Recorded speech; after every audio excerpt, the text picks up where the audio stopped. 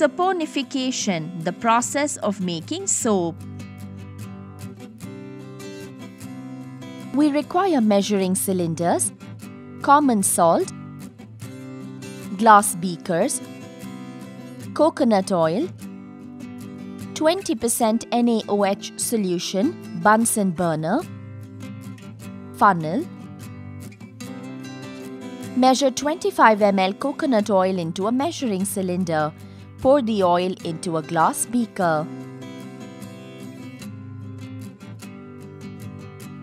Take another measuring cylinder and measure 30 ml 20% NaOH solution into it.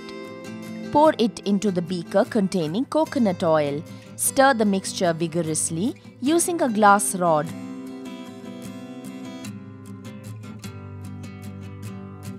Touch the beaker from outside. It will be observed that the beaker is warm. This is due to the exothermic reaction between vegetable oil, that is coconut oil, and sodium hydroxide solution. Place the beaker on a Bunsen burner and heat it until the mixture becomes a whitish paste. The mixture is made up of soap in suspension form and glycerol. Remove the beaker from the flame and allow it to cool.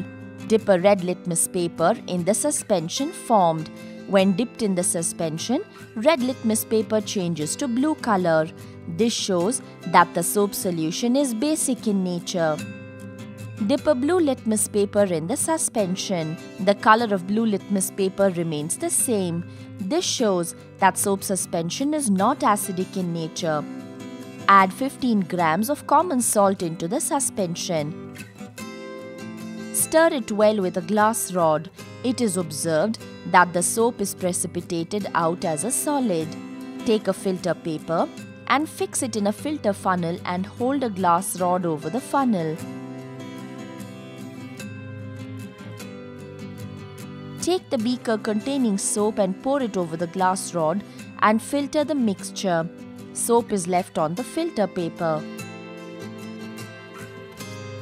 Take a filter paper and remove soap from the funnel using a spatula and place it on the filter paper. Dry the soap by pressing it with another filter paper. Cut it into the desired shape with a knife. Soap is thus prepared.